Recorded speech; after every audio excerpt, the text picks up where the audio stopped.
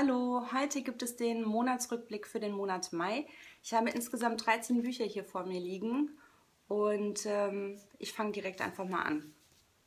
Bevor ich anfange vielleicht noch, lasst euch bitte nicht davon irritieren, dass ich bei den meisten Büchern unheimlich viele Märkchen habe. Das ist bei mir immer erstmal so, bis ich das nochmal überarbeite. Lasst euch davon nicht bitte, bitte nicht ablenken. Das erste Buch, was ich gelesen habe, war von äh, Stefan Thome, Gegenspiel. Ich wusste nicht, bis ich ungefähr bei der Hälfte vom Buch angelangt war, dass es ein Nachfolger zu seinem Buch äh, Fliehkräfte, glaube ich, hieß es, ist, hat der Sache aber keinen Abbruch getan. Ich habe das einfach als eigenständiges Buch sozusagen gelesen und die Geschichte war absolut nachvollziehbar. Hier geht es um Maria. Wir begleiten ihr Leben in einer Zeitspanne von Erwachsenwerden, also Jugend, über Unijahre, Heirat, Familiengründung, ähm, bis die Tochter flügge wird, das Haus verlässt und auch noch darüber hinaus. Die Besonderheit an diesem Buch, es wird sehr häufig in Rückblenden erzählt, wobei die nicht chronologisch sind. Also man springt zum Beispiel von der Gegenwart in die Jugend, in die Unijahre, dann ähm, zur frisch gebackenen Mutter, dann wieder zur Jugend und so weiter. Also es ist, äh, die Sprünge sind sehr willkürlich, sage ich jetzt mal, aber es ist alles sehr nachvollziehbar. Es treten keine Irritationen auf, man kann äh, der ganzen Geschichte problemlos folgen. Letzten Endes geht es um äh, ihre Suche nach dem Platz im Leben, Wünsche, Ziele, Kompromisse, die man eingeht, Vereinbarkeit der Hoffnung oder der, der Träume mit der Realität, eben unter den Aspekten, ähm, was will ich für mich selbst, unter dem Aspekt der Rolle als Ehefrau, als Mutter, als Tochter und so weiter. Ein wirklich sehr, sehr schönes Buch, wie ich finde. Ich habe es sehr, sehr gerne gelesen. Das nächste Buch, das ich gelesen habe, war ein englisches und zwar ist Everyone Hanging Out Without Me von Mindy Kaling. Mindy Kaling ist eine amerikanische Komödiantin, Schauspielerin, Autorin, Drehbuchautorin. Für diejenigen, die es nicht wissen, denn ich wusste es ehrlich gesagt nicht. Ich habe mir das Buch eigentlich nur gekauft, weil eine amerikanische Bloggerin ständig von diesem Buch geschwärmt hat und ähm, gesagt hat, es wäre eines der lustigsten Bücher, die sie je gelesen hat. Also habe ich gedacht, nimmst du mit, liest du mal. Ich denke allerdings, dass es vielleicht von Vorteil ist, wenn man mit äh, Mindy Kaling etwas anfangen kann, wenn man weiß, wer sie ist. Es ist ein Autobio autobiografisches Buch, wobei jetzt Mindy Kaling nicht besonders alt ist, wie man hier auch auf dem Bild sieht. Und es ist auch keine klassische Autobiografie, sage ich mal. Und das lockert das Ganze auch nochmal auf. Zum Beispiel hat sie Listen ähm, beispielsweise eine Liste über die ungeschriebenen Regeln einer Freundschaft oder was ihrer Meinung nach ein Mann mitbringen muss, um als potenzieller Traummann ähm, zu zählen oder zu gelten. Ich hatte Probleme, weil sie oft Bezug nimmt auf andere Stars, oft auch im Bereich Comedy, ähm, mit denen ich ehrlich gesagt nichts anfangen konnte. Also ich denke, wenn man sich ein bisschen für dieses Gebiet interessiert, Comedy insbesondere oder eigentlich nur amerikanische Comedy, könnte das Buch etwas für denjenigen oder diejenige sein. Ansonsten ist es lustig, ich habe es auch ohne Probleme und gerne durchgelesen, aber ich denke nicht unbedingt erste Wahl, wenn es darum geht, ein englisches Buch zu lesen. Das nächste Buch war von Jessica Durlacher, Schriftsteller. Dieses Buch geht sehr, sehr schnell durchzulesen. Es hat nur 113 oder 114 Seiten. Es liest sich wirklich sehr, sehr schnell. Es geht um äh, die Schriftstellerin Tirza, die einen Bestseller geschrieben hat und nun mit ja, den Schwierigkeiten leben muss, die so ein Bestseller-Erfolg mit sich bringt. Also Erfolgsdruck, Neid, Eifersucht und die Schreibblockade, die berühmte. Und in solch einer steckt sie gerade und entschließt sich kurzerhand, einen Kurs für kreatives Schreiben anzubieten. Daneben gibt es eine E-Mail-Korrespondenz äh, zwischen dieser Schriftstellerin und zwei Damen einer psychologischen Fachzeitschrift, die sie interviewen wollen. Dieses Interview kommt aber nicht zustande, ständig wird es äh, verschoben, es wird umgeplant und so weiter. Sehr viel mehr will ich über die Story auch gar nicht sagen, denn ähm, eine für mich große Schwäche dieses Buches war, dass das Ende sehr schnell vorhersehbar war. Ja, deswegen leider ein bisschen enttäuscht. Danach habe ich gelesen Erebos von Ursula Poznanski.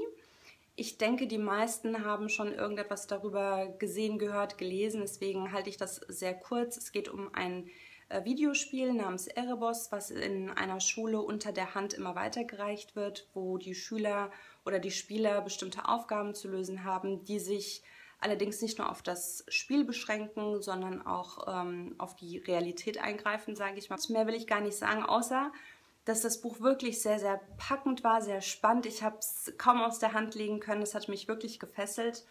Also wirklich sehr unterhaltsam. Danach kam dran von Philippe Claudel, Missulin und die Gabe der Hoffnung. Dazu hatte ich schon eine Buchempfehlung gedreht. Die verlinke ich euch gerne unten in der Infobox, falls sich das jemand noch anschauen möchte. Deswegen sage ich auch nicht sehr viel zum Inhalt, außer dass es eine sehr berührende, kurze Geschichte ist über Menschlichkeit und Mitgefühl sehr, sehr bewegend, sehr berührend, tolles Buch. Ach, dann kam eine Enttäuschung. Ähm, leichte Turbulenzen bei erhöhter Strömungsgeschwindigkeit von Maggie Shipstead. Ich hatte mich wirklich sehr auf dieses Buch gefreut und wurde leider enttäuscht. Es geht um eine Familie, Mutter, Vater, zwei Töchter. Die ältere Tochter ist schwanger und steht äh, wenige Tage vor der Hochzeit. Die jüngere Tochter leidet an Liebeskummer es sollte eigentlich, denk, dachte ich zumindest, eine ironische und satirische Geschichte über die ähm, ja, besser gestellte Mittelklasse oder Oberschicht der USA sein, ähm, die so ein bisschen ja, die Oberflächlichkeiten auf die Schippe nimmt. Leider konnte ich das nicht so richtig in diesem Buch erkennen. Die Charaktere waren mir nicht sympathisch, war vielleicht auch gar nicht das Ziel, ich weiß es nicht, aber ich kam wirklich mit den Charakteren nicht klar und das Buch hatte unglaubliche Längen. Es war so detailliert und zum größten Teil so überflüssig detailliert dargestellt, dass sich das zog wie Kaugummi stellenweise. Deswegen leider für mich eine Enttäuschung. Der letzte Tag eines Verurteilten von Victor Hugo. Ich habe das diesen Monat äh, nochmal gelesen. Ich hatte das vor längerer Zeit schon mal gelesen. Darüber kann ich gar nicht sehr viel sagen. Das muss man wirklich selber lesen und es lohnt sich. Ein wirklich sehr berührendes Buch. Es geht letzten Endes kurz und knapp in einem Satz gesagt um die Gedanken und Gefühle eines zu Tode verurteilten. Ja, was soll ich mehr dazu sagen? Man muss es wirklich lesen und das lohnt sich wirklich. Als nächstes habe ich gelesen Die gepflegten Neurosen von Mademoiselle Claire von Sophie Bassignac. Hier geht es um Claire. Sie lebt in Paris, ist eine sehr exzentrische junge Frau, die auch oft Angst hat, sich ernsthafte Krankheiten einzufangen. Von Menschen hält sie generell nicht sehr viel und ähm, ist auch recht frei Schnauze, wenn sie dann mal mit Menschen zu tun hat und ist auch chronisch gelangweilt. Und ein schöner Zeitvertreib für sie ist es, ihre Nachbarn durch das Fenster zu beobachten. Eines Tages zieht ein Japaner in dem Gebäude ein und sie kommt ein bisschen aus dem Schneckenhaus raus, sie freunden sich an und die Geschichte nimmt so ihren Lauf. Ich muss sagen, die erste Hälfte des Buches hat mir sehr gut gefallen. Dort wurden auch hauptsächlich die Charaktere beschrieben mit ihren äh, ganzen Marotten, auch Claire, auch die Nachbarn. Das fand ich wirklich sehr, sehr, sehr schön. Allerdings hat das Buch nach der Hälfte nachgelassen. Also irgendwie sollte die, die Geschichte weitergehen, es sollte Spannung aufkommen, ist aber irgendwie nicht so richtig passiert. Ich konnte die Handlung teilweise nicht mehr nachvollziehen. Es war sehr, sehr schade, weil der Anfang, fand ich, war sehr vielversprechend, aber die Geschichte selbst, an der hat es gehapert, leider. Danach habe ich gelesen Der Distelfink von Donna Tartt mit 1022 Seiten, ein ganz schöner Schinken, aber keine Seite zu viel, keinen Satz zu viel.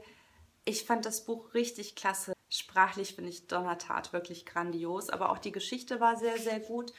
Hier geht es um den 13-jährigen Theo, der eines Tages mit seiner Mutter im Museum ist.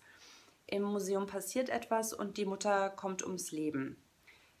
Theo selbst kann entwischen. Ähm, während er entwischt, klaut er allerdings das Gemälde der Distelfink. Ganz am Anfang gibt es auch eine Abbildung des Gemäldes. Die Situation, in der sich äh, Theo dann befindet, also die Trauer um den Verlust seiner Mutter, die Orientierungslosigkeit, wird sehr, sehr schön erzählt, sehr eindringlich, sehr berührend. Und insbesondere auch, da der Vater ähm, die Familie schon vor einiger Zeit verlassen hat und sich seitdem auch um Theo gar nicht mehr geschert hat. Das heißt, mit dem Tod seiner Mutter hat Theo seine ganze Familie auch verloren. Er steht also alleine da und dann stellen sich natürlich die Fragen, wie geht es mit ihm weiter, wer nimmt sich ihm an, wo, wo soll er leben, wo bleibt er. Dann begleiten wir Theo also beim Erwachsenwerden nahe der Abgründe, sage ich mal, ohne näher darauf einzugehen. Dann ist da natürlich auch noch die Sache mit dem Gemälde, das er geklaut hat, dass er ständig verstecken muss, beziehungsweise sich auch ähm, Gedanken macht, was soll er mit dem Gemälde machen, kann er sich jemandem anvertrauen oder nicht.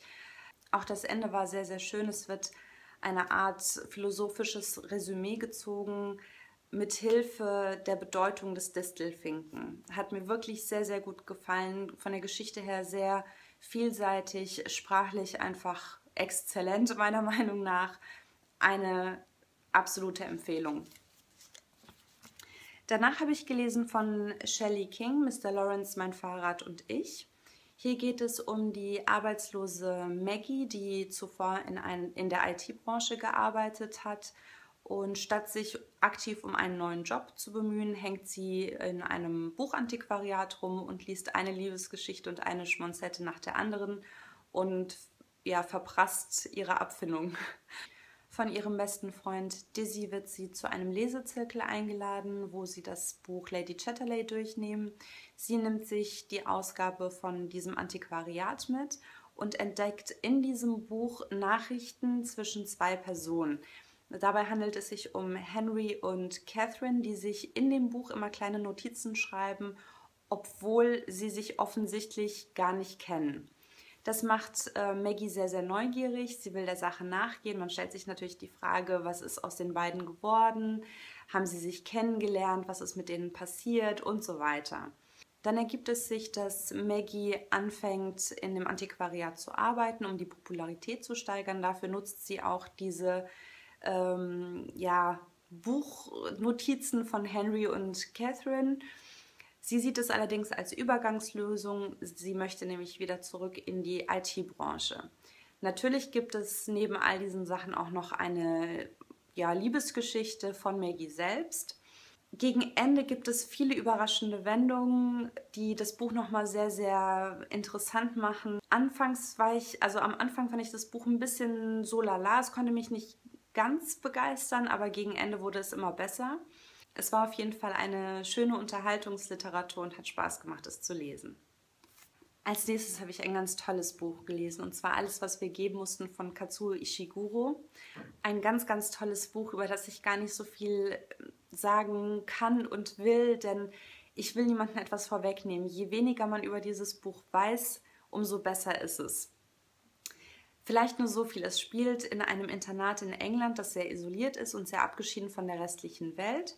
Den Schülern, die Kollegiaten genannt werden, wird schon sehr früh vermittelt, dass sie etwas Besonderes sind und für eine äh, besondere Aufgabe vorhergesehen sind.